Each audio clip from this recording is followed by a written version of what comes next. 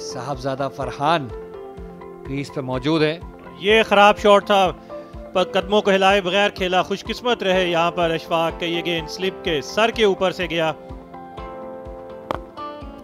Crease से बाहर निकले साहबजादा फरहान और इसको खेल दिया ग्राउंड के बाहर छह रन इम्तियाज़ इकबाल के दोनों हाथ फिजा में। शानदार लाजवाब दिलकश।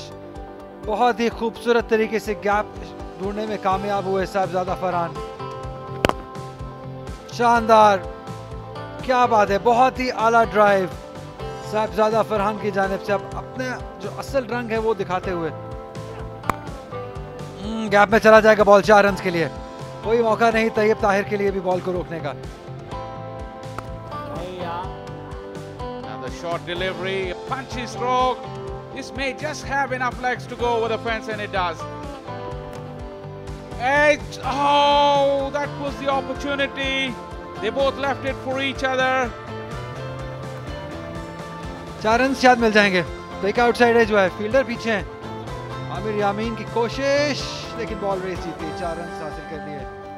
के साथ खालिद खान। इस मरतबा शॉर्ट बॉल और बड़ी ज़बरदस्त तरीके से इसको पंच किया चार रन के लिए। यहाँ कमाल का शॉट मारा है। बैकफुट पे। शॉट खेले हैं। फील्डर के लिए कोई मौका नहीं। चार रन मिल जाएँगे। बहुत ही शानदार टाइमिंग इस बार साहबजादा फरहान की जानब से। बैकफुट पे गए इस मरतबा कवर्स में खेले। क्या खूबसूरत स्ट्रोक और कॉम्पिटेटिव स्ट्रोक गेंद चार रन के लिए बाउंड्री लाइन के बाहर। फुल शॉट खेले हैं शानदार तरीके से गैप में चार रन मिल जाएँगे साहिबजादा फरहान को। बहुत ही जल्दी लेंथ को बरपा बैकफुट पे गए चार रन हासिल किए।